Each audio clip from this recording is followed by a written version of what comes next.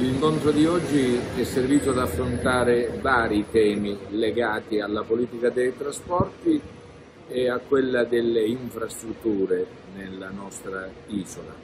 Per quanto riguarda i trasporti abbiamo eh, concordato e il Ministro ci ha assicurato la la creazione di un eh, apposito incontro con le compagnie minori eh, alla presenza, compagnie aeree, alla presenza dell'ENAC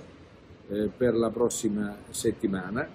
per affrontare i temi legati ai collegamenti, eh, soprattutto con gli aeroporti minori.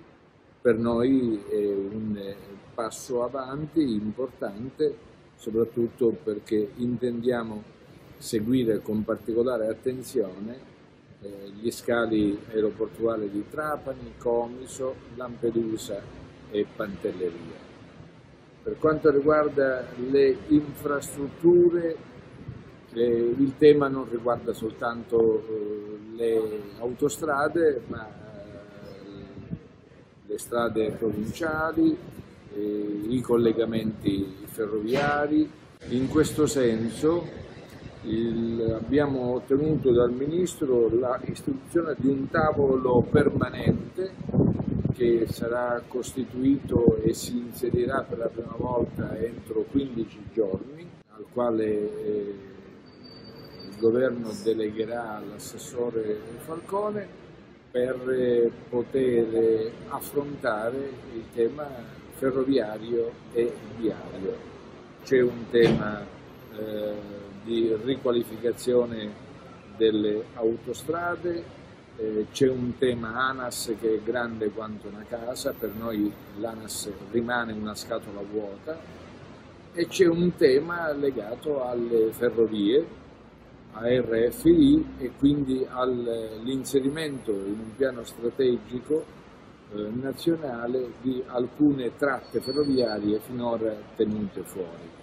C'è poi il grande tema della viabilità provinciale che riguarda circa 15.000 km di strade eh, per il quale il ministro Toninelli 21 mesi fa aveva promesso la istituzione di un super commissario che potesse affrontare questo problema, lui disse, da terzo mondo. Abbiamo concordato con, ministro, con la ministra De Micheli ehm, il varo e la trasmissione di un piano regionale per la viabilità provinciale nella speranza di riuscire a mettere assieme non soltanto alcune eh, centinaia di strade, ma anche una dotazione finanziaria che superi almeno il mezzo miliardo. In questo senso noi abbiamo assicurato il nostro contributo di alcune centinaia di milioni di euro, altre risorse le appronterebbe il piano di trasferimento di risorse alle province da parte dello Stato e la rimanente risorsa eh, arriverebbe dal governo centrale, quindi dal Ministero delle Infrastrutture.